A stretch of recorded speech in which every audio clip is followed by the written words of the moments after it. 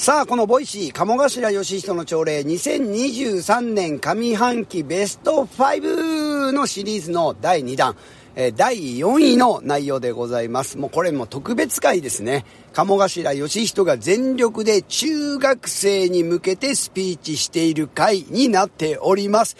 これは Voicy 用に撮ったんじゃなくて、目の前にいる中学生に向けて本気で、私の叫びが聞けるというコーナーになっている貴重な回になっております。もうこれ聞けばわかるので、ぜひ聞いてみてください。それでは、いってらっしゃいさて、今日はですね、ちょっと特別会になるんですけれども、先日、えー、東京池袋の焼肉マフィアに、中学生が修学旅行で訪れました。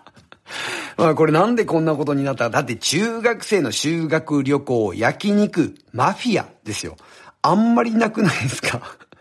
で、なんでこんなことになったかっていうと、これ覚えてる方とか知ってる方もいらっしゃるかもしれませんが、コミュニケーション大全の、えー、全国講演会に、この木之本中学校の2年生の学年主任にあたる増本先生という先生がいらっしゃって、生徒さん全校生徒分のコミュニケーション大全を購入するというですね、とんでもないことに出たわけですよ。で、子供たちにやっぱりコミュニケーションの悩み持ってるから、ぜひこの本を読んでほしいというせの先生の思いと、そして行動に、えー、僕らも心が震えまして、よし木之本中学校全校生徒さんに講演会をやろうということで行って参りました。で、これなんで行ったかというと、講演会で話を聞いてもらうってこともあったんだけど、増本先生が夢を叶えてる姿を木之本中学校の中学生の皆さんに見せてあげることってきっとね、大人になったら夢を叶える力が自分の中に身につくんだっていうことを、やっぱり言葉で言われても中学生の時ってピンとこないと思うんですよ。夢を持てとか、夢は叶うとか言われても、うるせえなとかなると思うんですけど、本当にそれを楽しそうに実現しているおじさんですよね。あの、松本先生僕と同い年なんで、56歳のおっさんがもう夢に向かって生き生きとして目キラキラさせて夢叶ったんだよってみんなの前で言ったらさすがにこれはね、響く子多いんじゃないかと思って、その姿を見せるために木本中学校で講演会やってきました。その後ですよ。松本先生、まだまだ飽き足らずですね、この後木本中学校の皆さんの修学旅行の日程に焼肉マフィア池袋を入れたんです。まあ、えっと、2泊3日だったのかな ?3 日間の一番最後。もうこれから新幹線乗って帰んなきゃいけないっていう一番最後に焼肉マフィアのお昼に来て、そして、えー、っと、焼肉マフィアで僕のスピーチを聞いて、えー、ステージパフォーマーの朝礼見てもらって、そしてスペシャルバージョンのね、これは焼肉マフィアのメンバーが作ったムービー、動画を見てもらって、カレーを食べて、そして、鴨頭義人の Q&A コーナーを中学生とやって、新幹線で帰りました。今回の Voicy では、その木之本中学校の皆さんが焼肉マフィア池袋に到着した瞬間、えー、鴨頭義人が中学生に向けて、夢と金について語っているスピーチでございます。もう生々しいそのままの、え、音声になります。ちょっと音が響いてるかもしれませんが、お聞きください。それでは、いってらっしゃい。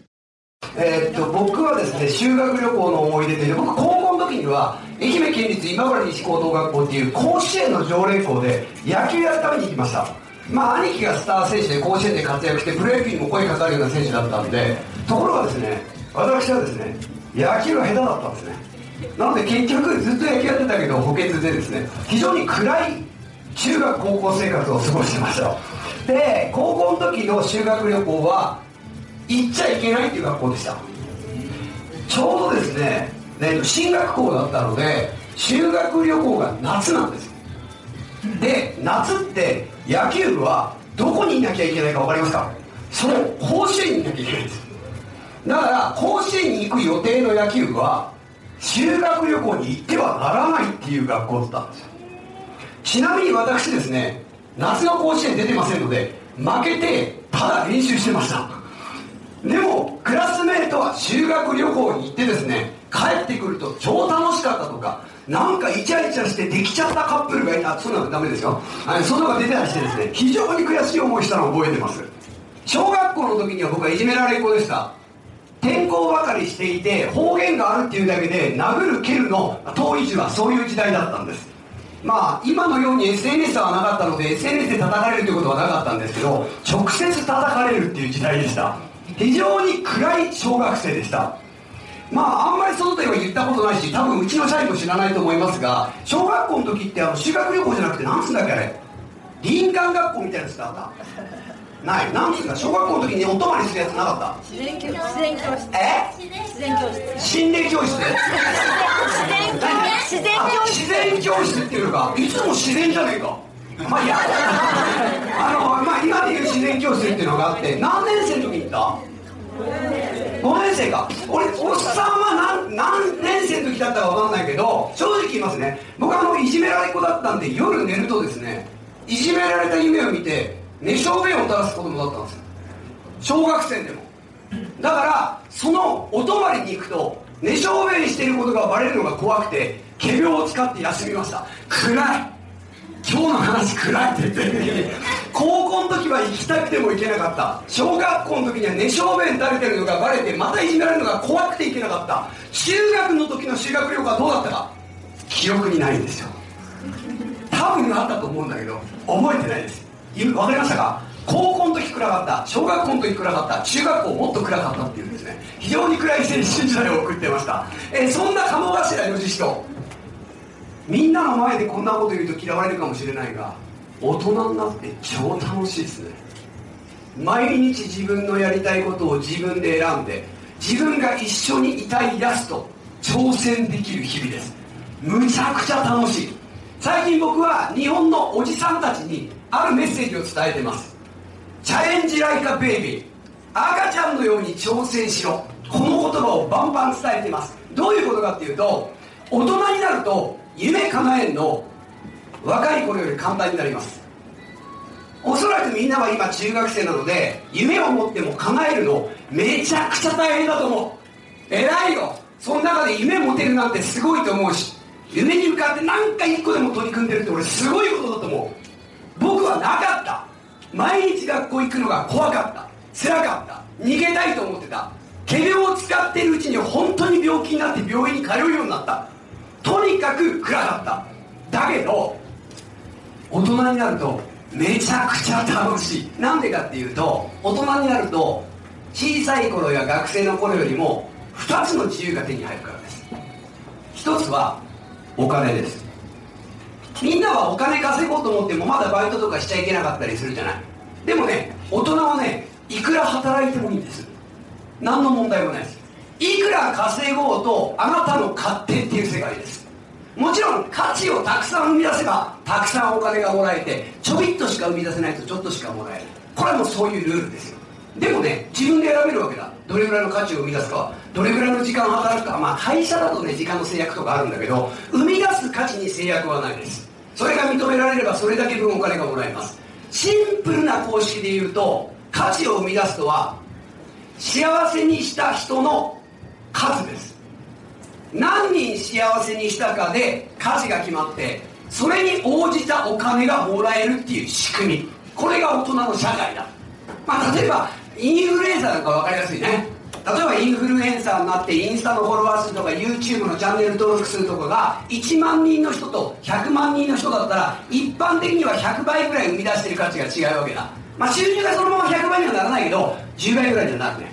それぐらい稼げるようになります。するとお金があると大抵の夢は叶う。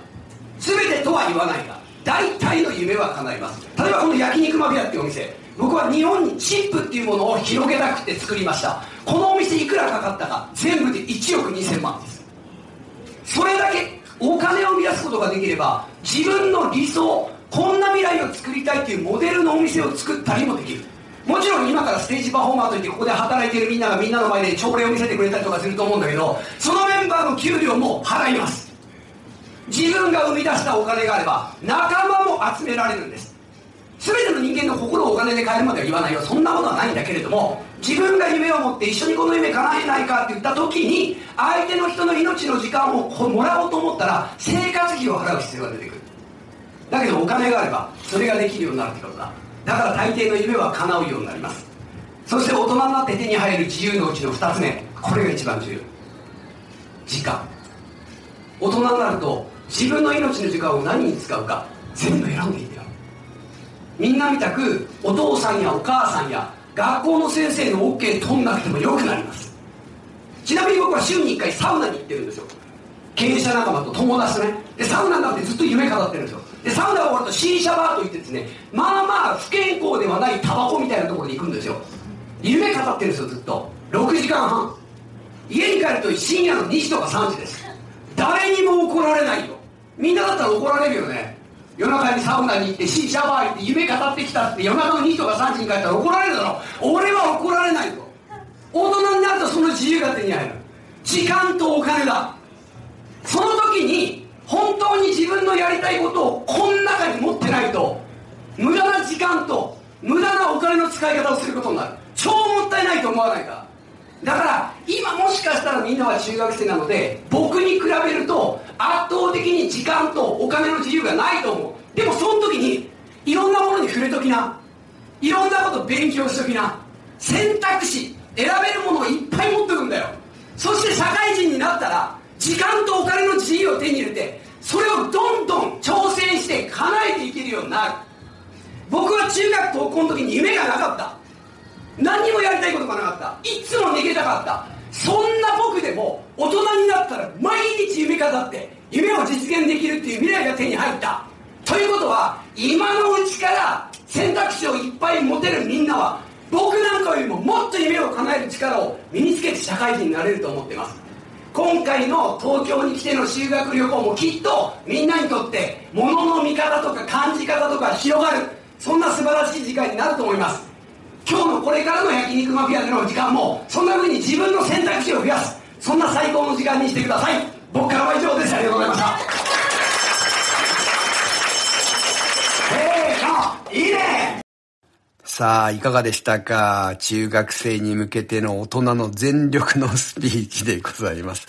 まあ、どう考えても本気でぶつからないとね、その中学生という多感な時期の子たちに、なんか頭のいい人が小賢しいことをね、説教しても響かないと思ったので、本気でもね、腹割って、全力でスピーチしてまいりました。まあ、最後はね、まあ Q&A もすごかったんですよ。ちょっと Q&A 長いのでね、ちょっと Voicy では、え公開できないかと思うんですけれども、Q&A ももう本気で答えてますからね。ここまで、まあ、ある意味中学生の時に聞くことができないような情報ばかりを生々しい話しかしてこなかったですね。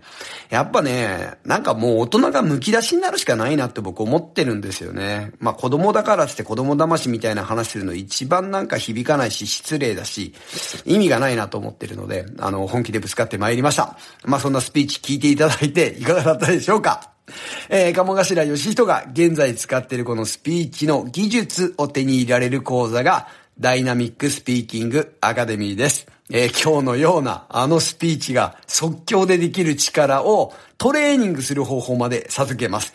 あそこまですぐにできるかどうかまではわからないんですけれども、どうやったらあんなスピーチを組み立てられるのか、どうやったらあの空気感を作れるのか、えー、それは教えれます。トレーニング方法も教えれます。なので、この講座は講義をした後、すぐにその場でワークをして、えそして宿題、えー、持って帰っていただいて、そして、コンペティション、競争することによって、本当にスキルが上がっていくという、えー、意外と丁寧なね、えー、講座の構成になっておりますので、スピーチがまだまだ苦手だという方、伸びしろがあるという方、まあ、経営者の人は必須。何らかの団体のリーダーも絶対受けた方がいいと思うし、あとはインフルエンサーの人ですね。YouTube とか TikTok とかインスタのリールとか、ボイシーパーソナリティの方は、絶対受けた方がいいんじゃないかなって思います。えー、5月の18日からスタートです。リンク貼っておきます。